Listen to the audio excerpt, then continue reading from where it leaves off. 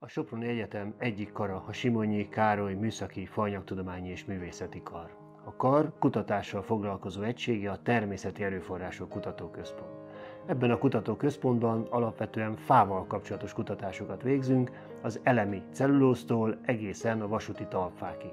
Emellett természetesen megjelennek az anyagkutatással, technológiafejlesztéssel, energetikával és tanúsítással kapcsolatos tevékenységek is. A Soproni Egyetem központi vizsgáló laboratóriuma akreditált szolgáltatásokat nyújt a hazai és különböző külföldi vállalatok számára. A faipari, erdészeti, papíripari területek közül rettenetesen népszerűek a különböző faalapanyag, kompozit vizsgálatok, hőkezelőző bevizsgálása, vagy éppen a formaldehid vizsgálatok.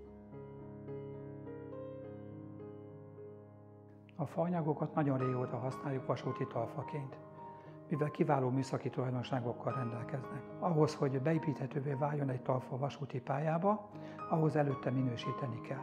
Először minősíteni kell nyers állapotban, majd a telítést követően ö, ismét minősíteni kell. Ha mindkét minősítésen megfelel a talfa, akkor ez azt jelenti, hogy vasúti pályában beépíthető, és megfelel a szabványban előírt követelményeknek.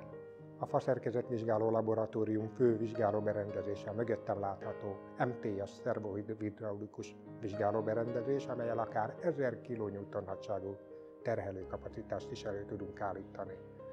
Tovább vizsgálóberendezésünk egy 3000 kN nagyságú szilikát anyagvizsgálógép, illetve egy 100 kN nagyságú FPZ vizsgálógép. Roncsolásmentes vizsgálatokra van ultrahangkészülékünk, illetve klimatikus vizsgálatokra klímakamránk.